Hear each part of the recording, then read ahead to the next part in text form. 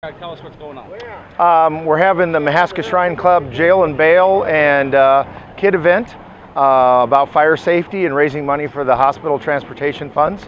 Uh, the funds uh, for this event will go to uh, take kids to the Minneapolis hospital and also our Chicago hospital.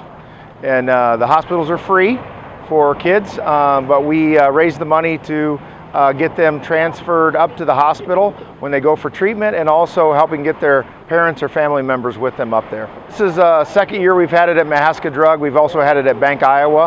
Uh, we appreciate Mahaska Drug putting it on this year for us. The Oskaloosa Fire Department out here and also with uh, discussing fire safety and, and working with the kids with us.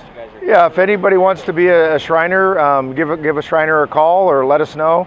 We also have a web page um, and uh, we, uh, we meet at different locations every month. We have events uh, when we do fundraising. And so our main fundraisers are this event. We also have a, uh, a, a golf tournament in September.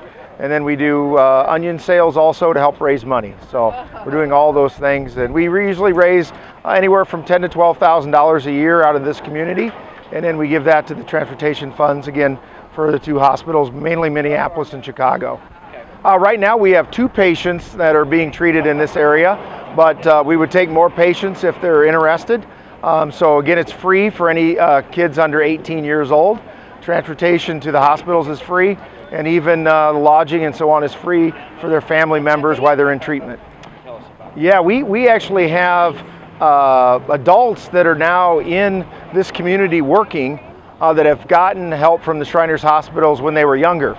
And uh, we have uh, events uh, that uh, they'll come and speak about what they were able to, what the help they were able to get.